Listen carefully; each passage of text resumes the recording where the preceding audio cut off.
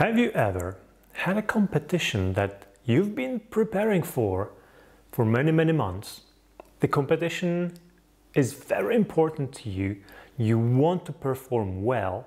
And then when the day comes and you leave your starting boxes, you grab the map, you go into the forest, you try to do your best, and it all falls into pieces like a house of cards. It flops, it fails.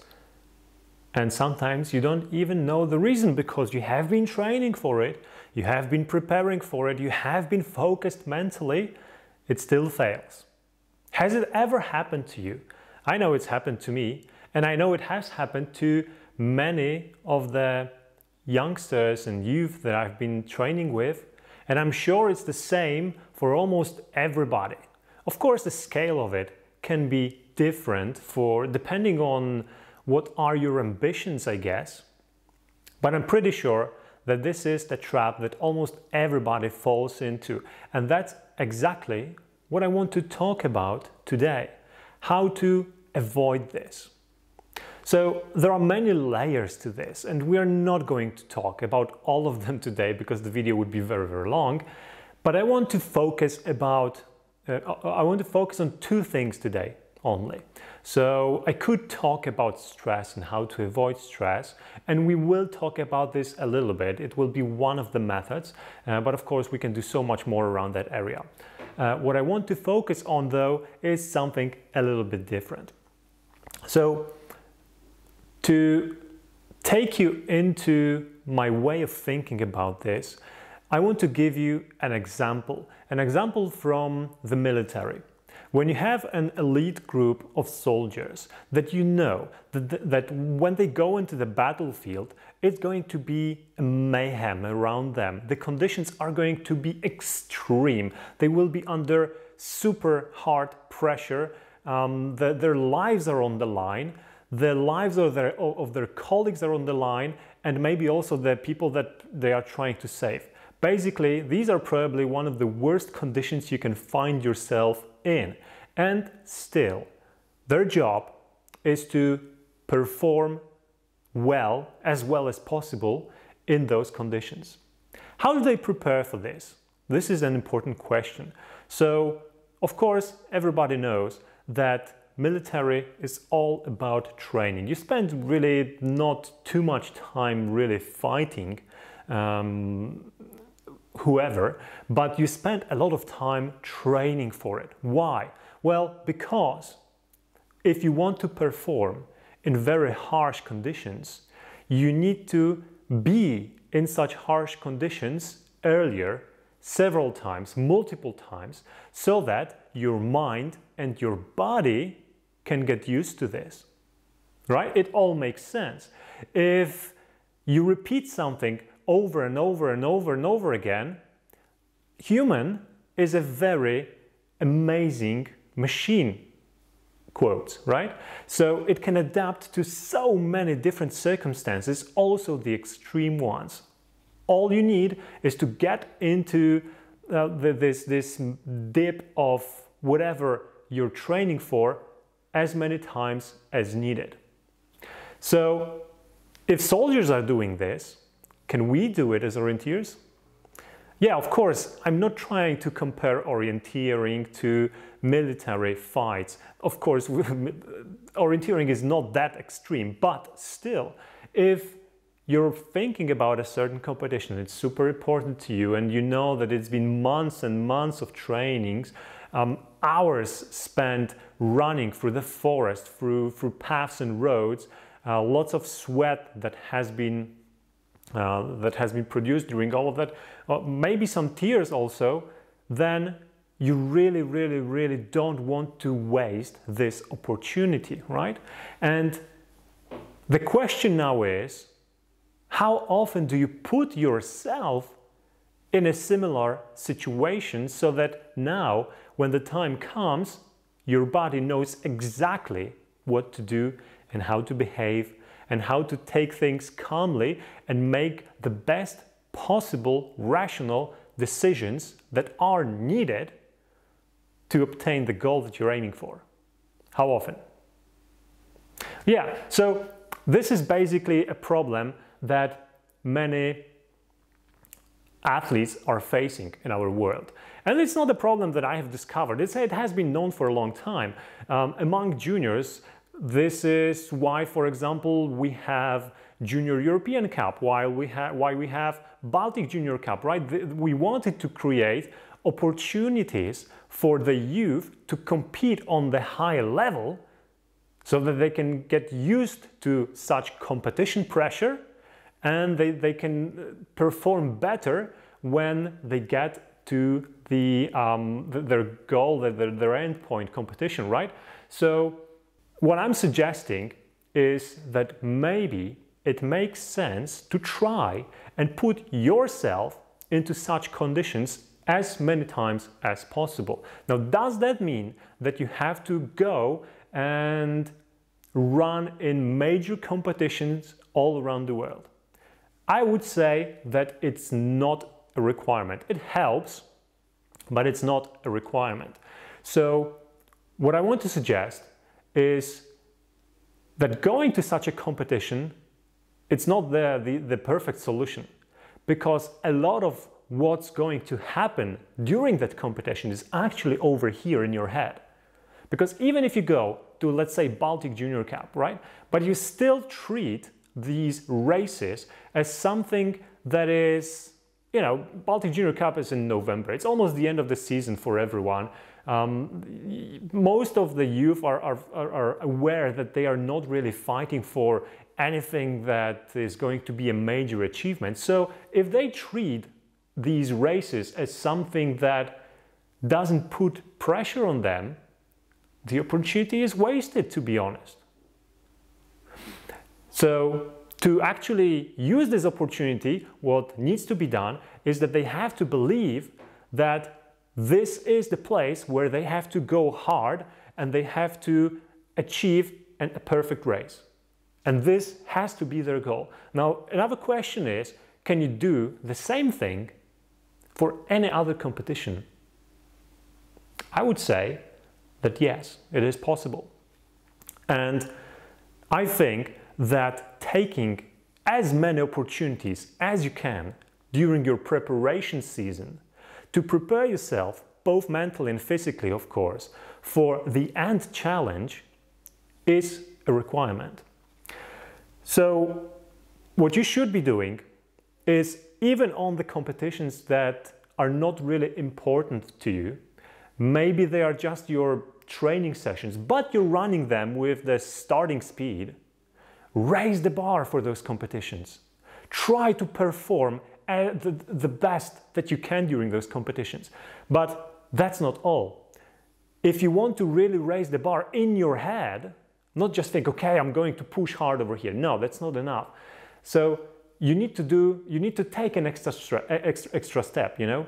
So we, we have this funny mechanism which I hear very often from my colleagues and other athletes, where we go uh, to the event center before the competition and you know, we mingle, we talk, uh, we um, exchange some pleasantries and, and we ask one another very often, how are you doing? How is your form? How is your training? Uh, are, are, you, are, are you well? Have you been training hard for this? You know, how, how are your preparations for this season? And very often the, the answer that you will hear back is, oh, you know, I've had my share of problems, this and that and that, right? So we are trying to lower the expectations, right?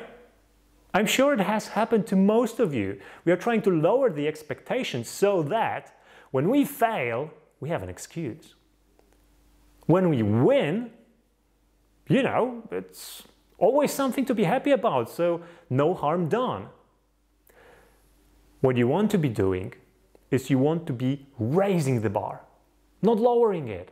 So, what you want to say is, you know, I've had my share of problems, but I'm going to win with you today. That is my goal, right?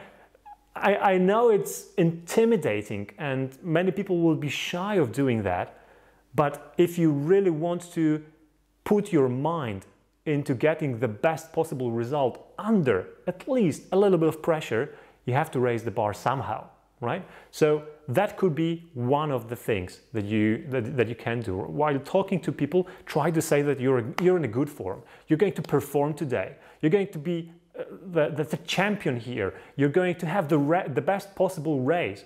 As my friends from Sweden uh, taught me to say, your strategy for today is going to be full speed, no mistakes. Right? So, uh, are there any other methods of raising the bar? Yeah, I mean, um, you could, for example, uh, make a bet with someone and say, look, I need some additional motivation for today. So if I win, or sorry, if I lose actually, I'm going to. And here can go anything that hurts. Right? So it doesn't have to be money. It can be something that you will have to do. It can be something that you will have to part with. It can be something that you will resign from, you, you, you will uh, avoid for a while. But if you, if you feel that money motivates you and you have money to spare, then it can also be money, right? Another thing that you can do is you can pick a goal for yourself, right? Don't just run and, you know, what happens, happens. If I perform well, fine. If I perform bad, well, I will try to learn from my mistakes. No, pick a real goal. So, for example, the one that I like is you look at the start lists and you're looking for someone or multiple someones that are who, who are going to be a challenge, who you know that normally you shouldn't be able to beat. But today you will try hard to do that. And then these people or this person, that is your goal. You want to win with them.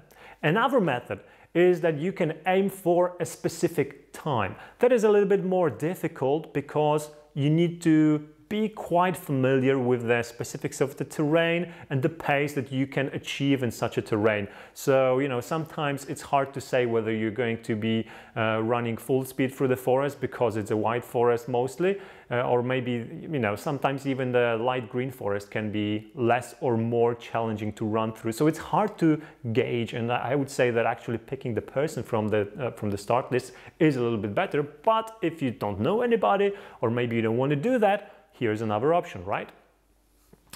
So try to create a challenge for yourself anytime that uh, you go to a competition and you're going or you're planning to run with the race speed. This way, you will put yourself, your mind and body, as many times as possible into those more demanding situations that will teach you how to deal with these situations, with stress, and of course you will be able to learn from each and every one of these races a lot more than uh, compared to, to, to the races where you just go and try to have a, a good run, right? I hope you know what I mean. Now, another thing I want to mention that is strictly connected with this is that th there are also patterns or triggers in our life that make us put us into a certain mode. So if I try to think about some examples of this, I would say that, for example, if you if you're if you're a man if you, and you're watching advertisements, TV especially, probably when you see a football match, you might have a craving for a beer. This is how we are conditioned by the commercials. Um, there, there are, you, you might also have other triggers, for example, for having a coffee, for example, for having something sweet to eat, right? There can be multiple examples. I want to say that we want to create a similar trigger or a set of triggers that will help you get into the mood and feeling of having a really tough competition right ahead of you, right? So what I mean by this is that you have to bring yourself to create a starting routine. We were talking about warm-ups in a previous video, and I think that having a routine during your warm-up is a very good trigger to get you into the starting mood, right? To get you into the racing mood. And I've mentioned what is mine, right? M mine usually starts a few minutes before the boxes, right? Of course, I'm doing some runs, some stretching, uh, some waving my arms and legs this way and that way, but that's not part of my routine yet, although I tend to do it quite repetitively. But the routine starts right before I get into the boxes. This is the starting boxes. This is where I check the north. This is where I check my surrounding. This is where, where, where I focus about what I'm just going to, to do um, inside those boxes. Uh, that I'm going to look at the controls and then I do it, uh, control descriptions I mean, that I'm going to do the visualization in the last box, right? And this is part of my routine or even whole routine, right? That puts me into the racing mode. I know that when I'm doing the visualization, the 30 last seconds before the start, I know that this is serious, right? And I know that I'm going to try my very, very best. And I strongly advise you to create your own routine so that you can repeat it every time and it will serve two purposes. So first of all, it will get you into the right mindset. Second of all, it will help you remain calm because you will be repeating the things that you've already done tens of times, maybe hundreds of times, and you will feel like this is normal. Whatever the level of the competition is that you're at, this is normal. You've been doing it eh, before every race. So your body and your mind are used to it. So that's the goal of creating such a routine and every routine can then be transformed into a habit and for those of you that know the power of habits, you know that it's totally worth it and we will probably talk about habits in one of the videos in the future. Now, the last thing that I want to mention in terms of what can be done is that those, those test races, that's how I will call them, uh, that, that you're trying to perform your very best, they are always also a perfect opportunity to test things out, right? So we know that during uh, the final start, you don't want to be experimenting, but during those test races, yes, you can. And this is exactly what they are for. So if you want to test a new breakfast, for example, before the race, do it. If you want to change a little bit of the timing when you eat what you eat, right, do it. If you want to check, for example, how your body reacts to taking a gel during the race, do it. If you want to drink more or less water during the race, do it. If you want to um, moderate the, the pace of your race differently, do it, right? This is where the experiments need to happen. And one last thing that I want to say regarding that is that doing those experiments is absolutely fine. It's actually um, recommended, but do not test several things at the same time because then it will be hard to figure out whether the effect was uh, coming from this one change or multiple changes and then it's hard to grasp which change was actually good and which one was bad. So one thing at a time, I think it's a reasonable advice for me to give you.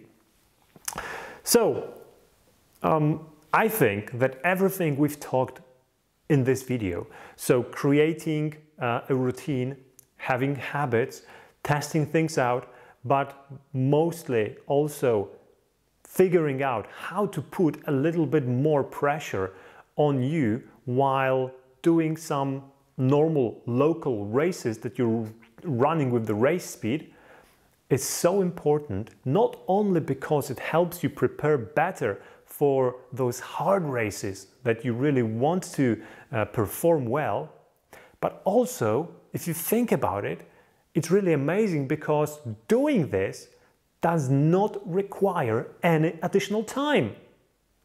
It just requires some change of your mindset. It just requires some conscious thinking about it it requires some tiny steps that you need to take but it's not like you know additional training sessions. It's not hours that you need to spend on it. And compared to the effort that you have to put in to make it happen i think that the benefits are just huge.